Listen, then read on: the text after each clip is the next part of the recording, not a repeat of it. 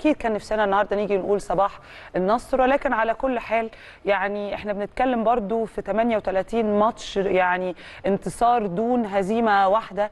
فقدر الله ما شاء فعل أكيد كنا نتمنى إن إحنا نختم هذا الموسم للدوري يا كريم وإن إحنا ما عندناش خسارة آه، يعني وحيدة. ولكن ما فيش مشكلة إحنا عندنا برضو ملابسات كتيرة جدا وحصل أحداث كتيرة جدا حابين إحنا أكيد نتطرق ليها النهارده. يعني مش عايزة أخش قوي في تفاصيل يا كريم هنترك ده للفقره الحوارية.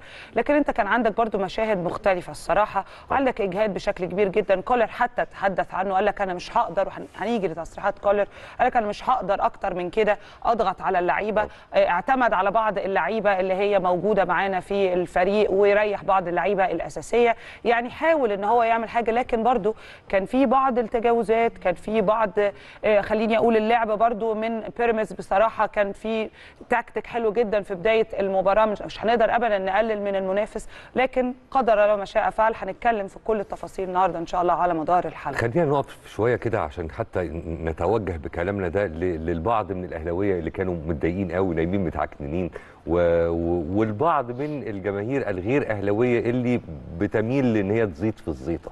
تعالوا نفكر في الموضوع كده بالمنطق لو هنتكلم على الدوري النسخة ده النسخة دي من الدوري الأهلي لعب فيها 33 ماتش. فاز ب 25 ماتش وتعادل في سبع ماتشات وخسر مرة واحدة في يعني مباراة وحيدة يتيمة فقط لا غير.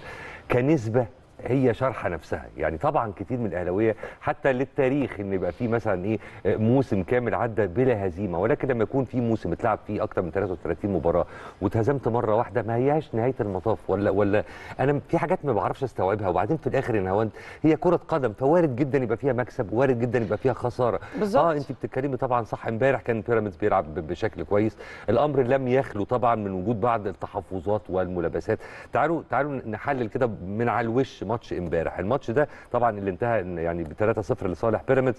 المباراة في الأول وفي الآخر هي تحصيل حاصل. ليه؟ لأن الموضوع محسوم من قبل منها فترة طويلة والدرع مستقر في مكانه الطبيعي وبيته ومطرحه. فدي دي نقطة. النقطة الثانية زي ما نهاوند كانت بتقول لحضراتكم من الحاجات اللي كانت يعني ناس كتير خدوا بالهم منها امبارح فكرة إن كولر كان فعلا متعمد إنه يشرك أكبر عدد ممكن من اللعيبة الشباب ودي في حد ذاتها حاجة مش وحشة. آه، شفنا إن كان في احتكاكات آه، بخشونه متعمدة ومتكررة. ما شفتش إن الحكم كان حريص قوي على التدخل لمنعها. يعني الناس كتير برضو كان ليها تحفظات على أداء التحكيمي في مباراة يعني الأمس وشافت إن الموضوع كان ممكن يبقى اظبط من كده بكتير. ولكن في الأول وفي الآخر هنرجع ونقول دي هزيمة وحيدة في موسم كامل. دي حاجة ما تزعلش. مبروك لبيراميدز هارد لك للنادي الأهلي وفي الحالتين الدرع الدوري في بيته. ولا إيه؟ لا ولا إيه؟ طبعا.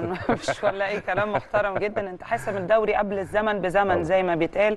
زي ما أنت جمعت عدد المباريات اللي فزنا فيها بالتعادل يعني 38 مباراة أنت مش محقق فيهم أي هزيمة.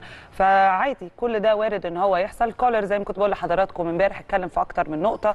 آه ذكر قد إيه كانت هذه اللعيبة مضغوطة. ذكر إن ده أصلا عمره ما بيحصل في أي حتة في الدنيا. لكن إحنا تاني هنرجع نقول هو ما كانش بيعلق يعني آه، آه، ال- الهزيمة على شماعة معينة. هو كان بيشرح الموقف بالمناسبة.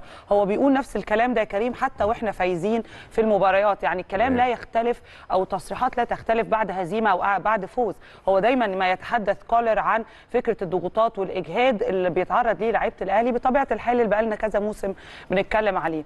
امبارح من اتفضل. أنا آسف جدا آه. بس في- النقطة اللي أنت بتقوليها ده قالها ب ب ب يعني بعبارة واضحة جدا قال لك ده الجسم بيصرخ وبيقول لك اديني أجازة. آه يعني والله ده, ده المكن بيصرخ. ما بالك انت بني آدم وإنسان ومن حقك تتعب ومن حقك يعني دول بشر في الأول وفي الآخر. طبعا إحنا كجماهير بنبقى منتظرين إن هم كل مباراة يبقوا متألقين أفضل من اللي قبلها. لكن في الأول وفي الآخر أنت لو بصيت لهم بعين إنسانية شوية هتلاقي لا ده أكيد دول بشر ما فيش أي مشكلة. وكده كده حتى لو خسروا بالمناسبة هم مشرفينا في كل المشوار حتى هذه اللحظة يعني. كنا نتمنى الفوز لكن قد كان كان في بعض الملابسات كان في بعض يعني العلامات ال- الاستفهام الموجودة الخاصة بالتحكيم وغيره وغيره. هنتكلم في كل ده.